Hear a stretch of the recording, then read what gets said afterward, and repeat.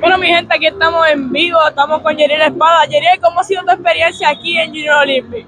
Pues ha sido bueno hasta ahora, ganamos nuestro primer juego, fue contra Vaquero y pues jugamos bien, aunque hay unos arreglos en la defensa, pero sí, jugamos bien.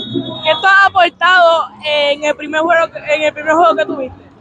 Pues aporté cuatro puntos y bueno, hoy pienso que puedo hacer más, pero es lo que Dios diga.